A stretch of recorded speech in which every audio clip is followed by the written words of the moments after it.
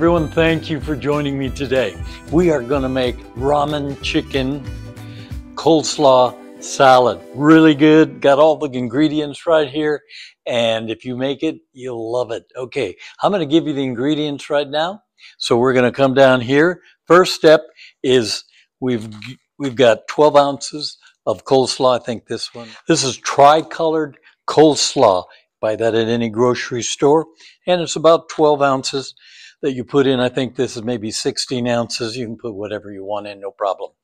Then we have over here frozen sweet peas. Buy those in the grocery store as well. Next, we've got a half a cup of purple onions, and we've got four scallions, half a cup of red pepper, pepper, half a cup of green pepper, and one cup of celery. And all of this is chopped. Now that is going to go in the salad bowl, and the ramen is going to go in the salad bowl as well. It's a chicken ramen.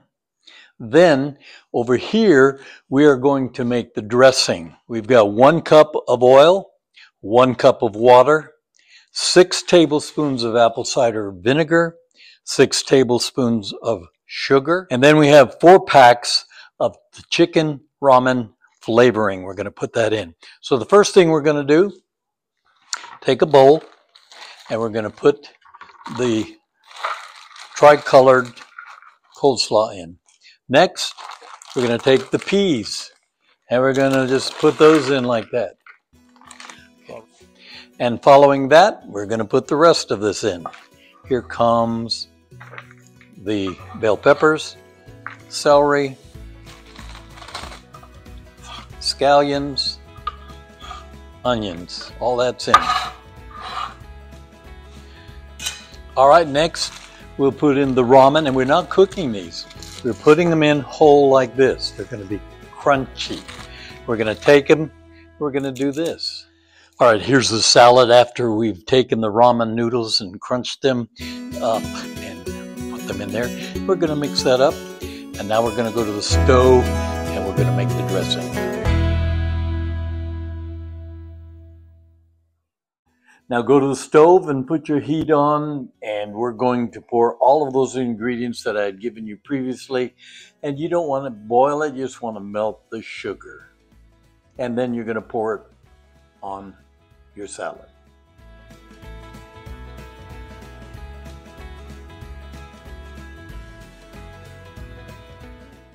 And after it's poured on, we're going to mix that all up like this.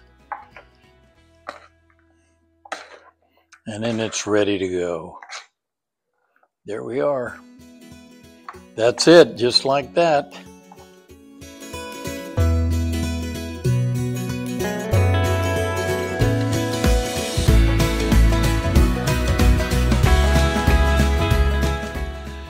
So there we are. Thank you for joining me. By the way, you need to take the salad, put it in the refrigerator for a little while, cool it down, hour or whatever.